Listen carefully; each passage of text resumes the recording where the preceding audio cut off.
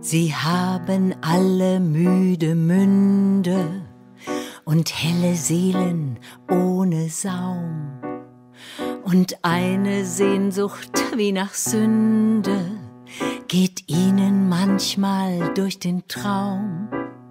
Fast gleichen sie einander alle, in Gottes Gärten schweigen sie, wie viele, viele Intervalle in seiner Macht und Melodie. Nur wenn sie ihre Flügel breiten, sind sie die Wecker eines Winds, als ginge Gott mit seinen weiten Bildhauerhänden durch die Seiten im dunklen Buch des Anbeginns.